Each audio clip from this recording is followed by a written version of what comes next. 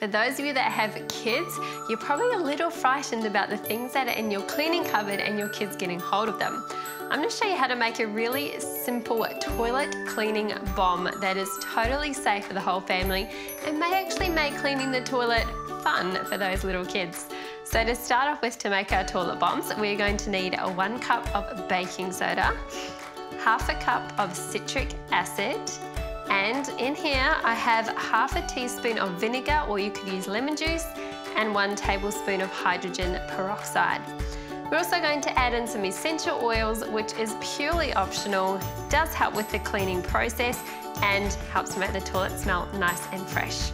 So we're gonna start by popping our dry ingredients into the bowl here. So I'm gonna pop in my baking soda, and then we'll add in the citric acid, so baking soda has all the cleaning properties.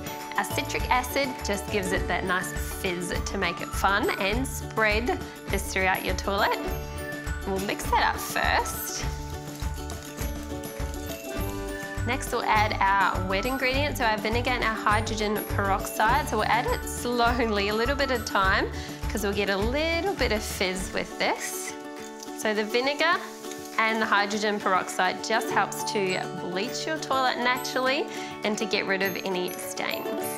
Right, make sure you give that a thorough mix through.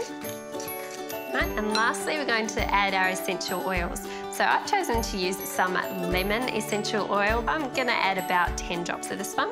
I love the smell of lemon and lemon naturally has really great cleaning properties. And then I'm also going to add in some tea tree oil. I'm gonna add about five to seven drops of this one, which has some fantastic antibacterial properties. Give that a good mix through. So lastly, I'm just gonna pop that into my silicon muffin molds. So I'm just going to spoon my mixture into my moulds, making sure that I press down nice and firmly.